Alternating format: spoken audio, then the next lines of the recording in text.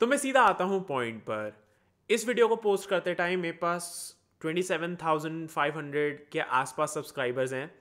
And मैंने notice करा है कि उन सब्सक्राइबर्स में से ज़्यादातर लाइक यंगर ऑडियंस है मेरी थोड़ी मतलब कम एज वाली ऑडियंस है जो बेसिकली बच्चे हैं टीनेजर्स हैं वो मेजॉरिटी ऑफ़ द ऑडियंस है मेरी। तो बात यह है कि आज ऐसा हुआ है कि मैं बैठा हुआ था एंड मैं अपने लाइक like, पास्ट को याद कर रहा था। स्कूल टाइम को याद कर रहा था एंड जो भी लोग थे मेरे पास्ट में, उनको याद कर रहा था एंड मेरे दिमाग में ये आ रहा था कि इतनी सारी गलतियाँ मैंने करी अपने पास्ट में एंड उनको बेसिकली आज मैं बैठ के उन सारी गलतियों को रिग्रेट कर रहा था। मैं आज बैठ के ये सोच रहा था कि यार, मैंने अगर ये चीज़ें नहीं करी होती तो आज मेरी लाइफ कितनी ईजी होती। तो यही सब कुछ सोचते सोचते रिग्रेट करते करते मेरे दिमाग में एक चीज़ आई कि यार, मैं इतने सारे लोगों के सामने अपना ओपिनियन रखता हूँ वीडियोस पोस्ट करता है एंड वो लोग मेरे को देखते हैं एंड मेरे से भी काफ़ी सारी चीज़ें सीखते हैं, मैं उनसे काफ़ी सारी चीज़ें सीखता हूँ। तो मेरे को लगा जो गलतियाँ मैंने करी हैं, अगर वो लोग भी वही गलती करेंगे तो मतलब फ़ायदा क्या हुआ? मेरे को उन्हें बताना चाहिए कि ये गलतियाँ मैंने करी हैं एंड तुम्हें ये नहीं करनी चाहिए, इन गलतियों का ध्यान रखना अपनी लाइफ में। क्योंकि अगर मैं ऐसा कुछ करता हूँ कि मैं तुम्हें लोगों को बताता हूँ कि मैंने कुछ गलतियाँ करी थी एंड तुम वो ना करो तो बेसिकली मैं एक एक तुम्हें एक स्टेप आगे बढ़ा दूँगा तुम्हारी ही लाइफ ईजी करने में। मैं खुद नहीं पता मैं क्या बोल रहा हूँ, ये वीडियो बिल्कुल भी स्क्रिप्टेड नहीं है। इसमें ज़्यादा एडिटिंग नहीं करूँगा मैं, इसको जितना रॉ रख सकूँ उतना रखूँगा, क्योंकि मैं एक डायरेक्ट बात तुमसे करना चाहता हूँ। तो मैंने छोटी सी लिस्ट बनाई थी, जो मैं चाहता हूँ कि इन चीज़ों को तुम ध्यान में रखो एंड इन चीज़ों को कभी मत करना अपनी लाइफ में। अगर तुम एक अच्छी लाइफ जीना चाहते हो तो। क्योंकि एक यंगर ऑडियंस होने के वजह से मेरे पे एक रिस्पॉन्सिबिलिटी आ जाती है कि मैं उन, उस ऑडियंस को अच्छी चीज़ें बताऊँ, अच्छी चीज़ें सिखाऊं। एंड ऐसी चीज़ें सिखाऊं जो उनकी लाइफ में काम आए। ऐसी चीज़ें जो उनकी लाइफ को बेटर बनाए। मैं 20 साल का हूँ एंड इन 20 साल में मैंने काफ़ी सारी गलतियाँ करी हैं एंड मैं चाहता हूँ कि ऐसी गलतियाँ तुम ना करो। जो भी मैं पॉइंट सामने रखूँगा उनमें से किसी भी पॉइंट को लाइटली मत लेना क्योंकि हो सकता है कि उसी पॉइंट या उसी बात के जिसको तुम लाइटली लोगे, हो सकता है वही चीज़ आगे जाके तुम्हारी लाइफ को और ज़्यादा डिफ़िकल्ट बना दे, और ज़्यादा पेनफुल बना दे। Okay the first thing is never smoke और ड्रिंक मेरे आसपास काफ़ी लोग हैं जो स्मोक करते हैं एंड ड्रिंक करते हैं एंड उनके वजह से मैं काफ़ी बार सफ़र कर चुका हूँ। तो मैं तुम्हें इसलिए मना कर रहा हूँ क्योंकि ठीक है, तुम अपने लिए कर रहे हो, ठीक है, लेकिन तुम करते, उसके वजह से तुम्हारे जो आसपास लोग हैं, उनको सफ़र करना पड़ता है। तुम्हारे जो आसपास लोग हैं, उनको तो सफ़र करना ही पड़ेगा, लेकिन इंटरनली तुम खुद को भी हार्म कर रहे हो। स्मोकिंग और ड्रिंकिंग के वजह से।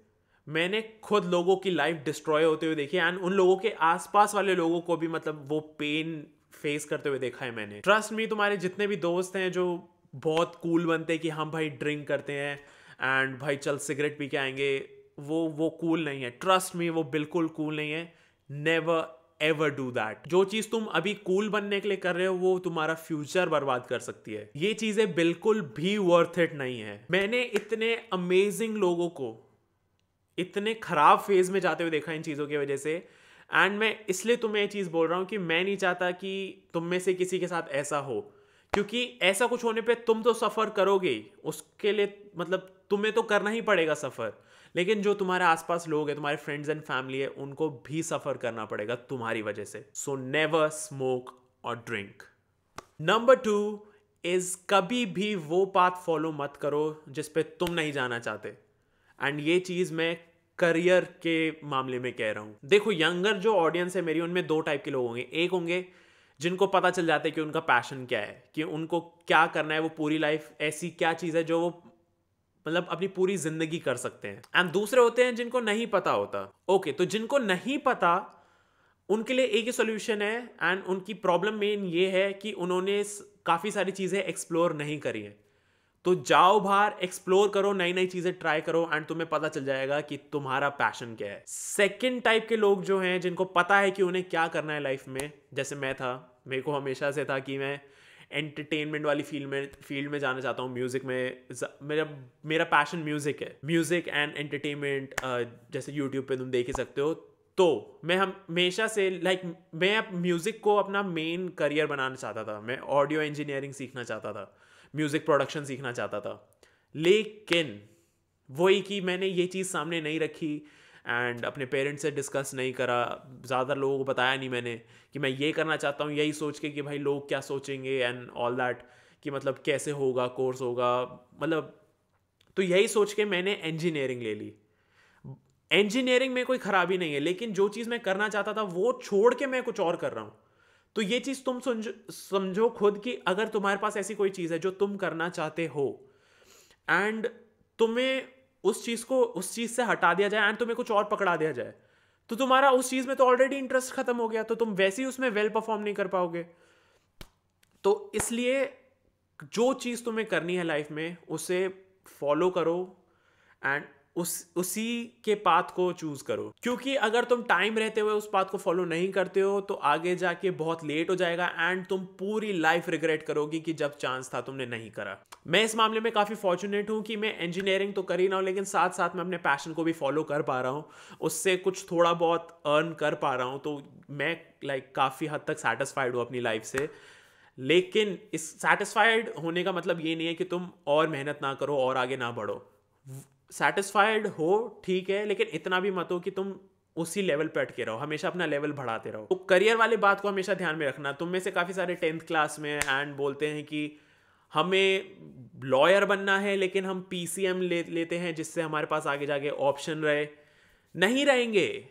ये बहुत बहुत बड़ा झूठ है। तुम साइंस सब्जेक्ट्स लोगे तो तुम साइंस की फ़ील्ड में जाओगे। कॉमर्स के सब्जेक्ट कॉमर्स लोगे तो उसी फ़ील्ड में जाओगे। तो उस चीज़ को समझो, कभी भी सेफ़ सेफ़ मत खेलो। हमेशा पहले पकड़ लो, सोच लो कि मुझे ये करना है एंड उसी की तरफ़ चलो। क्योंकि कई बार जब हम ऐसे सेफ़ खेलने की कोशिश करते हैं ना तो वही हमारे लिए मेन प्रॉब्लम बन जाती है आगे जाके। तो जब तक टाइम है रिस्क लो। डू वॉट यू लव जो चीज़ तुम्हें पसंद है, वो करो। चाहे कुछ हो जाए, तुम्हें कुछ भी करना पड़े, जो चीज़ तुम्हें पसंद है, वो करो। अब इसका मतलब ये नहीं है कि भाई मेरे को तो सोना पसंद है मैं सोऊँगा। मेरा उससे मतलब नहीं है। लाइक like, कुछ प्रोडक्टिव जैसे तुम्हें लाइक like, ड्राइंग करना पसंद है तो करो ड्राइंग उसमें मास्टर बन जाओ। लाइक like, अलग लेवल की ड्राइंग करो।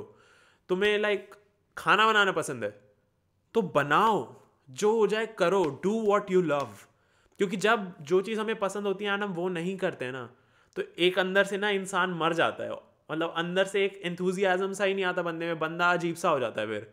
क्योंकि जो चीज़ वो करना चाहता है वो कर ही नहीं पा रहा तो एक तरह से वो सैडनेस में चला जाता है बंदा। एंड तो वो किसी भी चीज़ में प्रोडक्टिव नहीं रहता तो जो चीज़ पसंद है वो करो। लेकिन जैसे तुम्हें कुछ पसंद है, लेकिन तुम्हें दिन में टाइम नहीं मिल रहा उसके लिए तो बाकी सारे काम जल्दी करो बट जो चीज़ तुम्हें पसंद है, जो चीज़ करने में तुम्हें मज़ा आता है, वो करो। रोज़ करो। एक भी दिन ऐसा नहीं जाना चाहिए जिस दिन तुम वो चीज़ ना करो। हो सकता है इस वीडियो में काफ़ी सारी बातें हों जो बहुत अजीब लग रही हो कि मैं क्या बोल रहा हूँ। आई डोंट नो वाई ये मैं जैसे बताया मैं ये वीडियो बिल्कुल भी स्क्रिप्टेड नहीं है। एंड लाइक like, ये बातें लिटरली मेरे दिल से निकल रही हैं एंड मैं तुम्हें बताना चाहता हूँ ये बातें। तो इन बातों को बस ध्यान में रखना जो चीज़ें समझ आ रही है उनको बस अपने माइंड में रखना। जो नहीं आ रही तो उसमें तो हम कुछ भी नहीं कर सकते। तुम्हारे कुछ क्वेश्चंस हो जो तुम पूछना चाहो मुझसे तो कमेंट्स में ज़रूर डालना मैं पूरी कोशिश करूँगा उनको आंसर करने की। ओके okay, जो नेक्स्ट चीज़ है वो है हमेशा उन लोगों को ही पास में रखो जो तुम्हें सपोर्ट करते हैं जो तुम्हारी तरफ़ पॉजिटिवली देखते हैं। क्योंकि मैंने ये बहुत बड़ी गलती करी थी मैंने ऐसे दोस्त रखे हुए थे जो खुद मेरे में बिलीव नहीं करते थे जो मेरे को सपोर्ट नहीं करते थे एंड उनके रिएक्शंस वगैरह सुन के मैं खुद को डाउट करने लगता था। मैं मैं अपना पास्ट याद करता तो मेरे कई सारे दोस्त ऐसे थे जो मैं कुछ नया करने की कोशिश करता था, वो सीधा उनका जवाब ये आता था कि, भाई, अबे, रहने तेरे से नहीं होगा। लाइक आई स्टिल रिमेंबर कि ऐसे लोग मेरे को बोलते थे एंड उनसे सुन के मेरे को भी लगता था हाँ यार, नहीं होगा यार मुझसे। एंड मैं वो काम छोड़ देता था। मैं शुरू भी नहीं करता था ट्राई भी नहीं करता था। एंड लेकिन उसके बाद जब मैं थोड़ा लाइक बड़ा हुआ हूँ एंड लाइक काफ़ी अमेजिंग फ्रेंड्स मिले मुझे। एक एक मेरे साथ में यूट्यूबर अंगद है। तो मेरे दोस्त भी सारे ऐसे हैं जो लाइक like, हमारा पैशन सेम है एंड सेम आइडियाज़ पे काम करते हैं हम काफ़ी सिमिलर हैं एक दूसरे को सपोर्ट करते हैं तो जब तुम्हारे पास ऐसे दोस्त होते हैं तो तुम ग्रो करते हो। तुम एक जगह पे रह ही नहीं सकते क्योंकि वो तुम्हें सपोर्ट कर रहे हैं तुम कुछ भी उनके पास नया लेके जाओगे यार मेरे को ये ट्राई करना है। तो उसकी तरफ़ से यही आंसर आएगा कि कर एंड मेरे से कोई हेल्प चाहिए तू ले तू कर। तो ऐसे टाइप के लोगों को साथ में रखो। नेगेटिव लोगों को बिल्कुल साथ में मत रखो, वो तुम्हें कहीं नहीं लेके जाएँगे। अब तुम्हें पता कैसे चलेगा कि नेगेटिव लोग कौन है? सीधा जाओ एंड किसी को, अगर तुम किसी बंदे को कुछ बैड न्यूज़ बताते हो कि यार ये हो गया मेरे साथ एंड ऑल दैट अगर वो जब तुम्हें बोलेंगे कि ये सॉल्यूशन है इस चीज़ का तो उनके फेस को देख के पता चल जाएगा कि वो एक्चुअली बोल रहे हैं या वो सिर्फ़ बात को खिसकाने के लिए बोल रहे हैं। उससे तुम्हें समझ आ जाएगा कि कौन से लोग एक्चुअल में केयर करते हैं तुम्हारे बारे में एंड जो भी तुम्हारे साथ कुछ हो रहा है। एंड जो लोग केयर नहीं करते उनको लाइक like, निकालो अपनी लाइफ से। अपना टाइम उनमें इन्वेस्ट करके वेस्ट मत करो। वन मोर थिंग ये ये शायद सबसे इंपॉर्टेंट बात होगी मेरी। काफ़ी सारे तो जो तुम स्कूल में हो स्कूल में ऐसे टाइप के बच्चे होते हैं कि भाई ये तो मतलब बदमाश है एंड बहुत, इसकी तो बैक है भाई साहब, ये बहुत लड़ता है एंड ये तो डॉन है मतलब पूरे स्कूल का। दोज पीपल आर स्टूपिड वो उन, वो वो लोग होते हैं जिनमें दिमाग नहीं होता, उन्हें प्रॉब्लम सॉल्व करने के लिए खुद लड़ाइयाँ करनी पड़ती हैं। वो स्कूल टाइम में बहुत अट्रैक्टिव लगते हैं वो लोग, मैं पहले बता रहा हूँ, वो बहुत अट्रैक्टिव लगते हैं एंड तुम्हारा मन करेगा कि हम भी इनके दोस्त बन जाए, फिर हमारी भी लाइक बैक होगी, हम भी लड़ेंगे। That's the stupidest thing you can do school time में मैंने ऐसे दोस्त बनाए थे एंड मैं टिल डेट रिग्रेट करता हूँ। स्कूल टाइम में मैंने इतने हॉरेबल फ्रेंड्स बनाए थे एंड मेरा वो डिसीज़न मैं टिल डेट रिग्रेट करता हूँ। यही सोच के, कि उस टाइम मेरे को वो बहुत कूल लग रहे थे।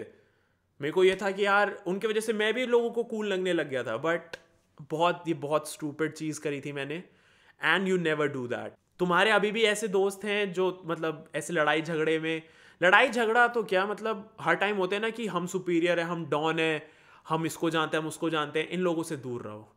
ट्रस्ट में इन लोगों से दूर रहो। ये ये खुद कहीं नहीं जाएँगे एंड ये तुम्हें भी डुबा देंगे। एंड अगर तुम्हारे अभी ऐसे दोस्त हैं तो उनको छोड़ दो। ट्रस्ट में उनको छोड़ दो।